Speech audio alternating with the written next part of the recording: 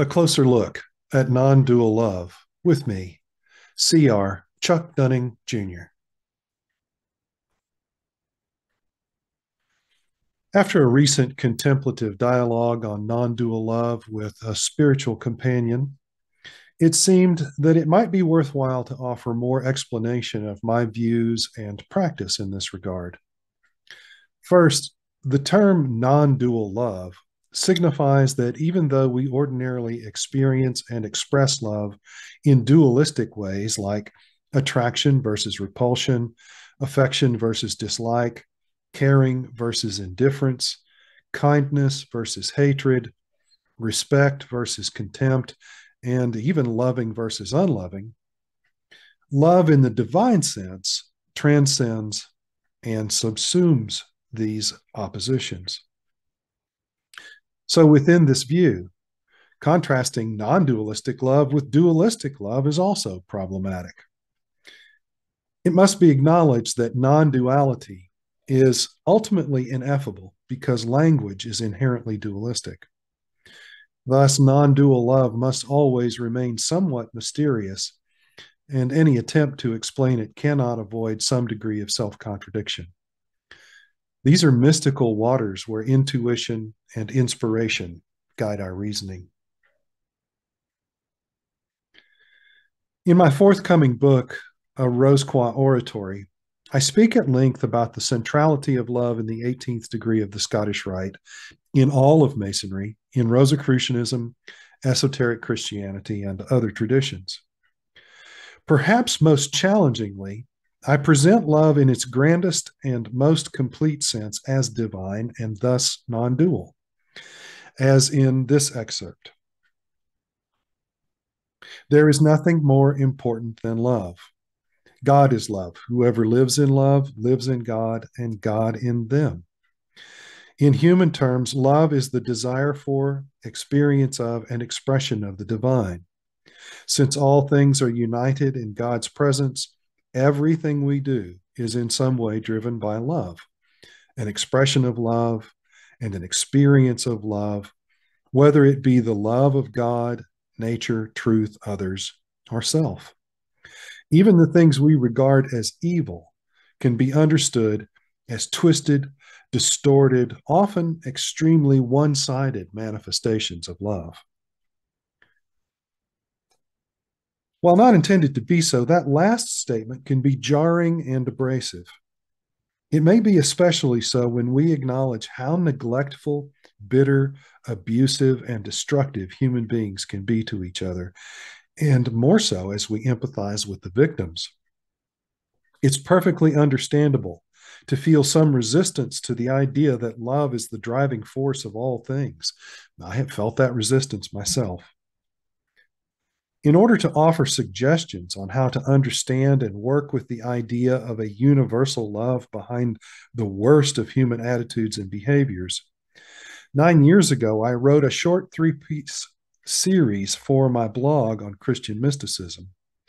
The blog is Mystic Way of the Heart, and the series is entitled Transcendent Love Toward a Non Dualist View and Practice.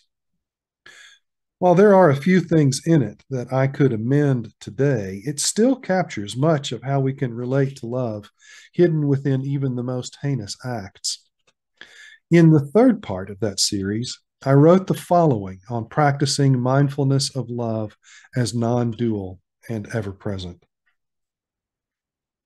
When we find ourselves reacting to an experience as though it is somehow opposed to love, this practice begs us to look beyond the surface and deeply into the desires, motives, intentions, hopes, and fears that have shaped our judgments of it, and perhaps those that have played more external roles in the experience.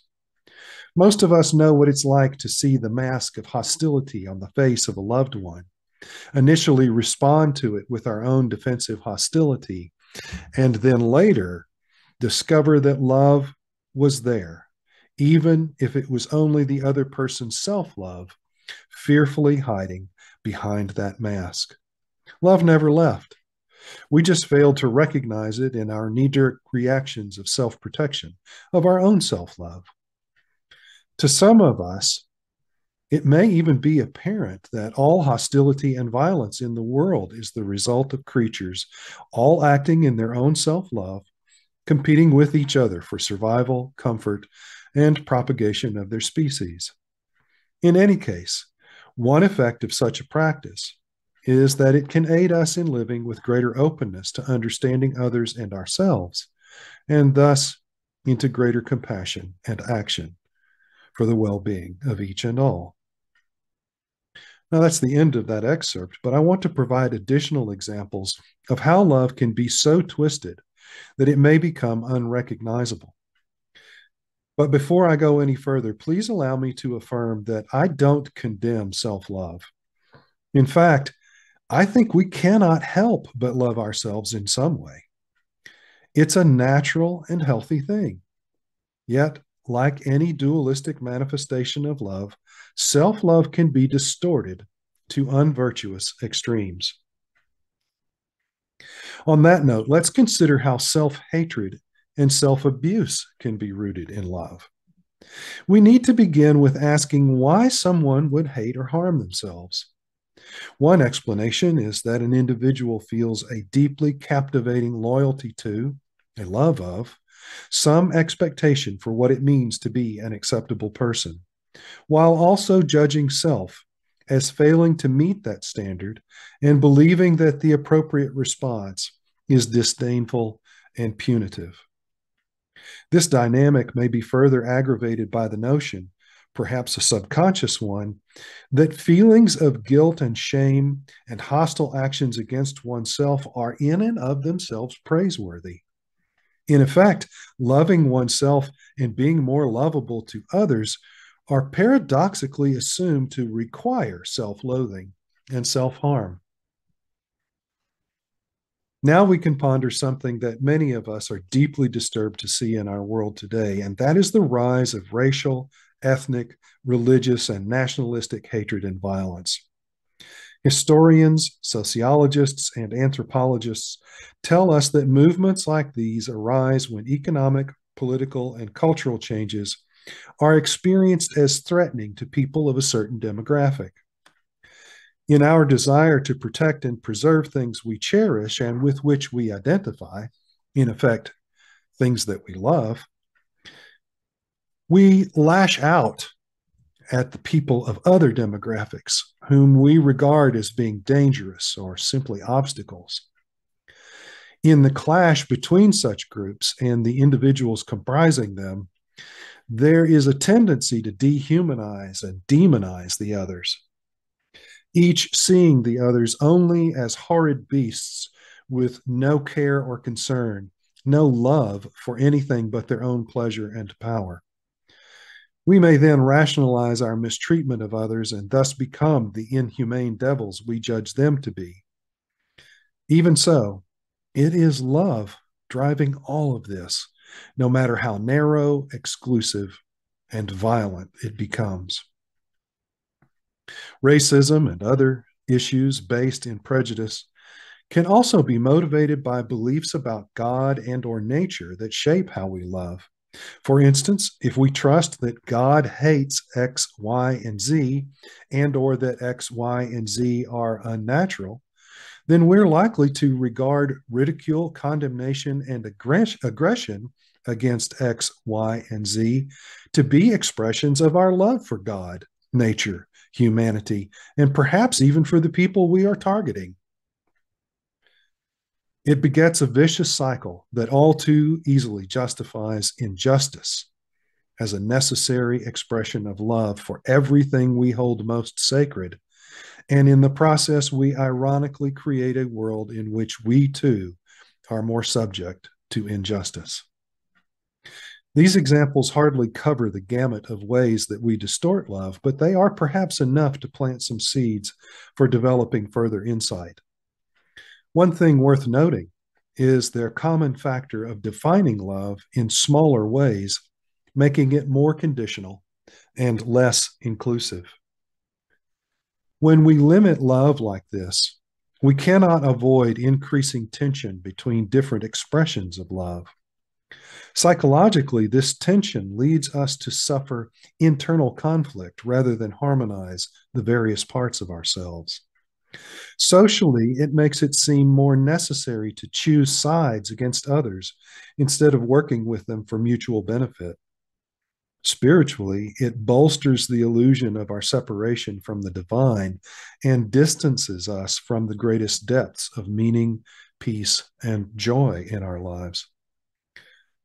Despite these explanations, it's easy to see why the idea of non dual love can be regarded as illogical, naive, or even dangerous.